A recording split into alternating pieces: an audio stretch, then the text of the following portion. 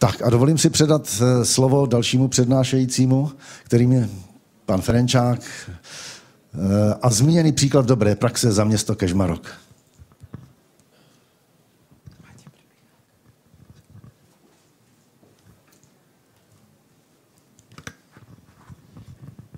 Takže príjemné dopoludne vám všetkým ďakujem organizátorom za pozvanie a možno také predstavenie, ako u nás na Slovensku sa tvorí tá agenda alebo koncepcia Smart Cities.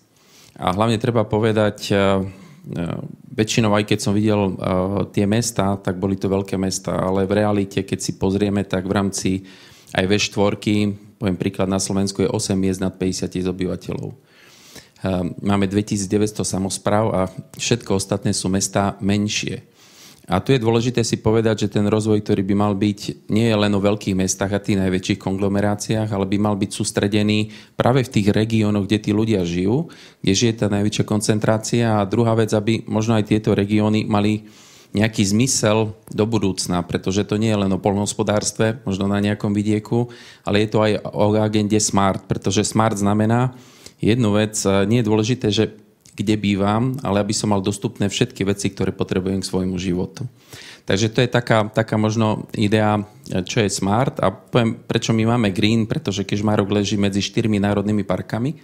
Je tam Tatranský národný park, Vysoké Tatry, Slovenský raj, Pieniny a, a ešte Nízke Tatry dokola. Preto našou koncepciou je zostať green, čiže byť takým miestom na život – a súhlasím aj so všetkým, že čo je najdôležitejšie pri tejto smart agende sú ľudia, pretože smart znamená byť chytrý a chytrý znamená, že splniť všetko to, čo tí ľudia potrebujú.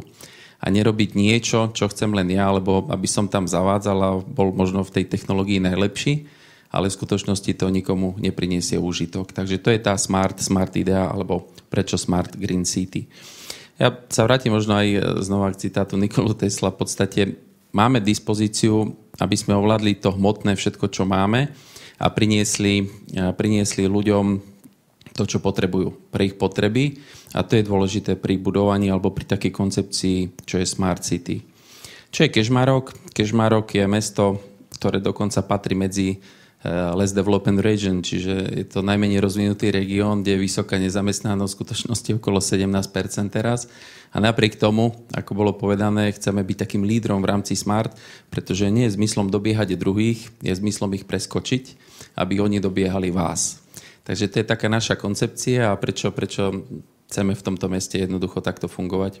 Väčšinou, eh, keď si pozriete, sme mladé mesto, priemyselno-obchodné služby, čiže je to taká výrobná sféra a 80% ľudí je menej ako 60 rokov. To znamená, nie sme ešte v kategórii takých transition alebo silver economy, my ešte stále sme taká produkčná báza, kde máme dosť veľa mladých ľudí, kde jednoducho je produktívny vek a k tomu potrebujeme prispôsobiť aj ten ideový koncept alebo celkovo tú koncepciu budovania tohto mesta. Toto je základ, pretože, ako je povedané, neexistuje základný koncept smart agendy, pretože každý región alebo každé mesto má svoje iné potreby a tie potreby sú potrebami ľudí. Čiže tí ľudia sú iní a majú úplne inú štruktúru, žijeme v inom prostredí a preto tá idea budovania konceptu smart by mala vychádzať z dola nahor, nie z hora nadol. Niekedy sa to trošku míňa prostriedkom, pretože, poviem príklad, štáty alebo vlády chcú to riadiť vždy centrálne. To znamená, ja vám poviem, aby ste si zaviedli Wi-Fi pripojenie, tak všetci budeme robiť Wi-Fi pripojenie, alebo my chceme, aby ste spravili to, ale to nefunguje v živote. V živote v skutočnosti funguje to, že tí ľudia takú potrebu nemusia mať. A to je tá decentralizácia, decentralizácia, čo nám často chýba, že nie sú na to vytvorené prostriedky, budžety alebo zdroje, aby sme si sami čerpali a podľa tých našich koncepcií jednoducho zavádzali tie technológie alebo postupy, ktoré my potrebujeme dole v tom území a nie, ktoré možno niekto chce presadzovať, aby sme ich presadzovali. Takže to je také, z čoho sme vychádzali. A mesto Kežmarok má 16 obyvateľov, je to okresné mesto, čiže robíme celé tie služby pre celý okres, ktorý má 7 tisíc eh, obyvateľov. Z čoho sme vychádzali? No to sú tie výzvy. To znamená, každý, každý región, každé mesto má svoju výzvu. A našim výzvom, výzvou bolo práve to, že to, čo väčšina možno aj ľudí vníma, kolabujúca doprava. A tu nie je rozdiel malé, veľké mesto. To máme všetci. Zastaralá infraštruktúra, no my nemáme tu možnosť, ako mali možno niektoré štáty západnej Európe, že vybudovali infraštruktúru a teraz sa venujú väčšinou službám alebo taký human resources, čiže oni pracujú s, ľudskými zdrojmi a to je ten zmysel. Aj Smart Agendy to nie je len o technológiách, to je o ľuďoch. To je to, ako bolo povedané, že zmyslom chytrých miest sú chytrí ľudia. A to je ten výsledok toho všetkého a dovtedy my len spejeme k tomu, aby, aby to takto dopadlo. Takisto ekologické záťaže, environmentálne náročnosti budov, všetkého, to máme všetci práve v tomto V4 regióne. No ale čo treba spomenúť sú klimatické zmeny, s tým musíme čeliť, lebo sú dosť výrazné. No a v týchto regiónoch, ako je Trevský Žmarok, je to stiahovanie populácií práve do takých megalomanských miest alebo konglomerácií, kde jednoducho tento trend je tak nastavený. Treba si povedať, že aj do budúcna, aj podľa tých štúdií 2050, 80% populácie bude žiť v mestách. Ako to je trend, jednoducho to nezastavíme. Otázka je možno v tých menších mestách, aby to neboli len také megapolisy, spraviť tú agendu takú, aby tí ľudia zostávali možno aj v týchto územiach.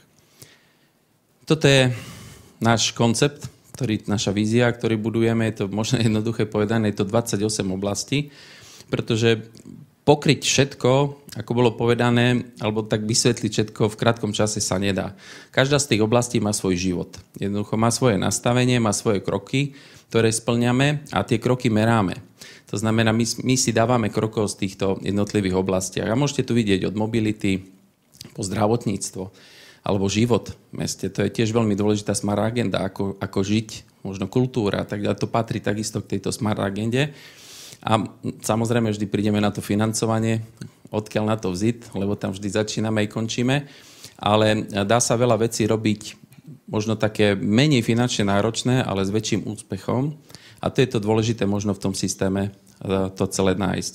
A tým pádom aj to mesto máme, máme veľmi jednoduchý slogan moderné, dynamické a historické, pretože Kežmarok je e, kráľovské mesto, ktoré bude oslavať teraz 750 rokov prvej písomnej zmienky. Čo je naša vízia? Jednoducho byť lídrom, to je vždy také najjednoduchšie, ale treba mať tú víziu. No a my sme na to začali e, pracovať. Ja poviem, to neznamená, že teraz sme sa zobudili a teraz vytvoríme koncept a jednoducho ideme sa stať lídrom. My dovtedy sme pracovali, to znamená, my sme tri roky pracujeme tak tvrdšie aj od infraštruktúrnych projektov. Sme celé mesto postavili na optike. To znamená, my sme, dá sa povedať, zrušili všetky Wi-Fi pripojenia, mali sme kamery na Wi-Fi, mali sme parkovné systémy. My sme to všetko zrušili a dali sme to na optické siete. To znamená, tieto siete si teraz manažujeme sami, kde si manažujeme prepustnosti, čo kde potrebujeme. To znamená, toto máme. A nie je to len mesto, my sme to spravili na všetky naše organizácie. A na, toto je taký základ, ktorý sme spravili, potom sme vymenili LED osvetlenie, máme v jednej štvrtie nové LED osvetlenie, máme, máme x ďalších takýchto vecí, len to je presne to, o čom tá smart agenda je aj nie je, pretože ak vymením LED osvetlenie, som smart city alebo nie som. Alebo spravím nejakú Wi-Fi zónu, je to smart city? No je aj nie, lebo smart city skôr je o myšlienke a o koncepte, lebo chytrý znamená, že nie, že niečo spravíš, čo momentálne letí alebo je in, ale že vieš, čo bude nasledovať.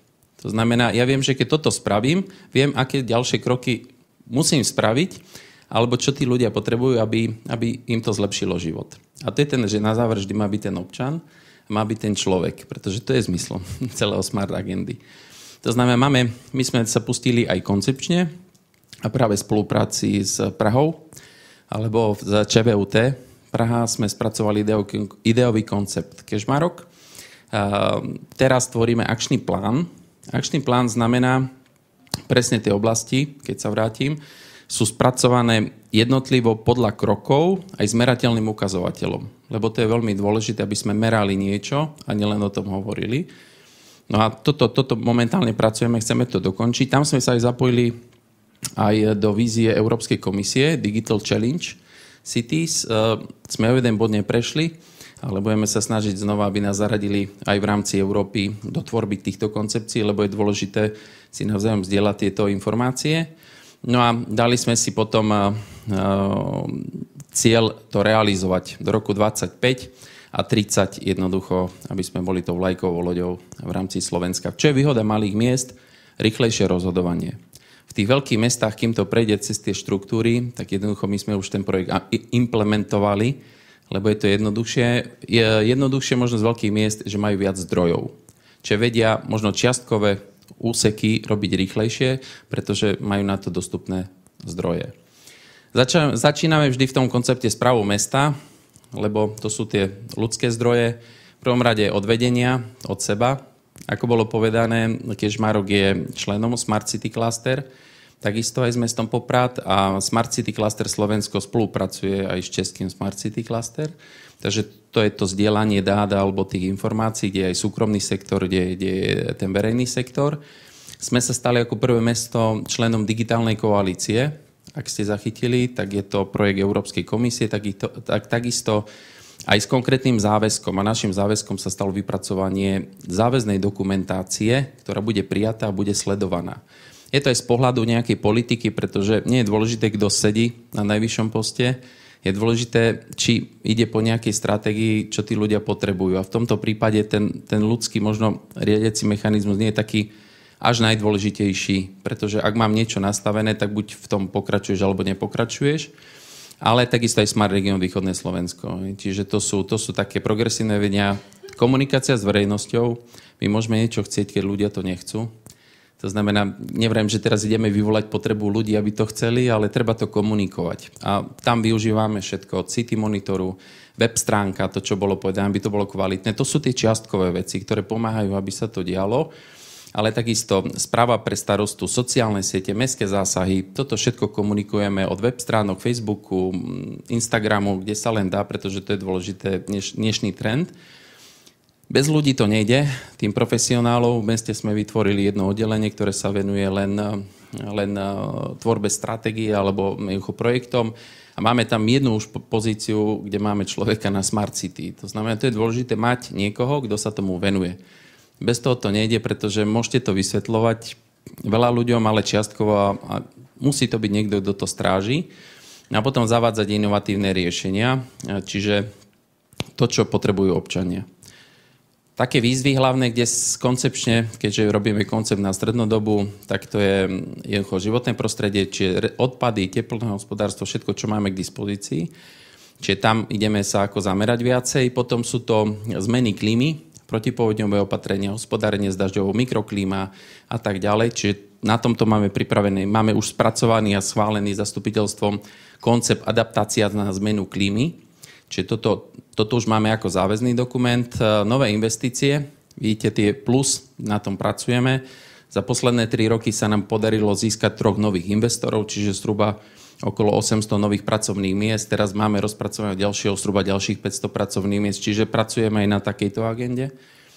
No a 2018 e, ideme práve do e, komposta, kompostovaniu, zberu, lepšie recyklácie odpadu, čiže to je ďalší koncept, ktorý rozvíjame. No, 2020 máme ambíciu prejsť do podpory pestovania bioekopotravín lokálnej mikroekonomiky. Čiže to je taký, také naše výzvy. No a treba si povedať také zo života. Európska komisia robila prieskum, čo trápi ľudí. A 49% ľudí povedal, že mobilita. Jednoducho to na všetkých trápi a to nevynímajúc malé, veľké stredné mesta vidiek všetkých. Máme veľa aut, na to na to, ako sme tú infraštruktúru vybudovali doteraz, pretože tie ulice ani v tých historických mestách nevieme rozšíriť. To znamená, a ako ďalej je veľkou výzvou pre nás všetkých, pretože v tomto nejaké geniálne riešenie neexistuje. Takže my ako mesto sme začali v 14. To boli kruhové objazdy, svetelné križovatky, lebo dnes je trendom mať veľa aut. V 2015 sme parkovací systém dali práve na optické siete, čiže my to manažujeme online v rámci mesta, ale uh, takisto aj uh, teraz pracujeme na zbere dát, to znamená umiestnenie čidiel, aby sme vedeli, aká je hustota premávky. A pracujeme na tom, ako usmerniť tú dopravu, či už jednosmerkami alebo v danom čase možno nejakou reguláciou, ale na to zase potrebujeme dáta, čiže to je to smart riešenie, že teraz sa sústredíme skôr na zber dát, vyhodnocovanie a potom príde aplikácia daného riešenia. V tomto roku v tomto roku sme dali si ambíciu elektromobilita, to znamená vybudovanie nabíjacích staníc, kupujeme aj elektromobil do mesta, čiže skôr, poviem, nie je to skôr také, že ukázať, že sa to dá, ako, ako nejaké koncepčné, ale týmto trendom pôjdeme. Budujeme cyklotrasy v tomto roku, zhruba 5 km nových cyklotras v rámci mesta vybudujeme v rámci zdrojov chodníky a tak to je tá infraštruktúra, ale patrí to k tomu. O 2020 ambícia nízkouhlíková MHD, to znamená takisto buď elektro, alebo pôjdeme do vodíka. No a z pohľadu aktívneho riadenia dopravy, čiže potrebujeme začať ovládať aj kryžovatky, aby sme tú priepustnosť v rámci mesta zvýšili. A pokračovať práve v tej zelenej doprave. Informácie mesta, sa vraciam znova k tým informáciám k občanom, alebo čo je dôležité, máme mestskú kartu, systém zľav vernostné, Momentálne pracujeme na tom, aby to bola platobná karta, čiže integrovať všetko do jednej karty od platobného systému až po, po dá sa povedať, zber, zber mm, nejakých bodov. V rámci mesta to využívame s lavami. To znamená, mestské kúpalisko alebo kino a tak ďalej poskytuje zľavy pre občana. Máte skúsenosť aj u v Čechách, takéto karty fungujú a sú dobré. Budúcnosť bude samozrejme v smartfóne, kde aj ten platobný termín alebo platobný styk prejde do smartfónu. V rámci mesta, aj v rámci bezpečnosti nejakej agendy máme už 36 kamier, všetko máme na optických sieťach Full HD, online prenosy, máme zrealizované riediace pracovisko, ako vidíte. Momentálne so 6 monitormi pokračujeme tento rok ďalej, ďalšie 4 kamery, 2, 2 monitory. Odtiaľto manažujeme celé mesto Teraz prechádzame aj na software, ktorý bude vyhodnocovať rizika, keď ste možno sledovali a treba aj tú bezpečnosť chodcov a tak ďalej. Čo je takým najväčším úspechom, je to práve to, to zelené zjednotená ekonomika. My sme prešli celé mesto na jednotný software ekonomicky, s tým, že aj všetky organizácie v rámci rozpočtových organizácií, SROčiek, príspevkových prešli na jednotný software, my to máme e, všetko stiahnuté do serverového centra, ktoré máme na meste a všetky ekonomické dáta máme na jednom mieste. To znamená, my si to teraz manažujeme. Momentálne implementujeme manažerský model, modul, e, kde ako mne primátor ja potrebujem vedieť, aký je príjem meste, aký je výdaj a či je to plus alebo mínus. Takže všetky tie dáta, nie z mesta, ale zo všetkých organizácií nastavujeme týmto smerom, aby to bolo ľahšie manažovateľné. Čo je výhoda? Jednoducho máme to unifikované. To je možno na ďalšiu tiež prednášku, v čom sú výhody, nevýhody, ale to dnes nie je čas. No a tento rok sme prešli na open data, otvorené dáta, jednoducho máme už 13 datasetov otvorených vonku, ideme na kompletne spracovanie, ako aj nad tým vidíte mapový portál do 2D, 3D modelu so všetkými sieťami, od plinárov, elektrikárov a tak ďalej, aby to bolo jednoduchšie. Samozrejme, nie všetky budú free alebo voľné, ale podľa odbornosti budeme e, mapovať prístupové, aby sme mohli tieto, tieto dáta e, využívať. No a optika, to je to, čo sme vybudovali, máme celé mesto postavené na optike, či je do budúcna otvorené, otvorené priestor. Najdôležitejšou vecou je vzdelávanie. To znamená, bez tých ľudí to nejde. A tu sme si povedali, že môžeme, môžete robiť, čo chcete. Ak nebudete mať ľudský potenciál, jednoducho to nerozviniete. A toto je trend e, všetkých miest čo najviac tých ľudí buď získať do tých miest, alebo im poskytnúť také podmienky, aby zostali. Takže tento rok sa nám podarilo komunikácii s vysokou školou stiahnuť ekonomickú vysokú školu do mesta Kežmarok s tým, že otvárame malé stredné podnikanie so zameraním na uh, v podstate otvorenie takých startupových centier. Toto, toto budeme spúšťať spoločne s, s mestom. Uh, rekonštrukcia škôl, to je základ, čiže kým nie je to tá škola nevyzerá, tak jednoducho nie je lákavá ani na to, aby som sa tam vzdelával. Takže v tomto smere môžem povedať, že do roka a do dvoch rokov ukončíme komplexne v celom meste všetky základné materské školy v rekonštrukcii. No a najväčšou, najväčšou víziou nás je stredoškolský kampus.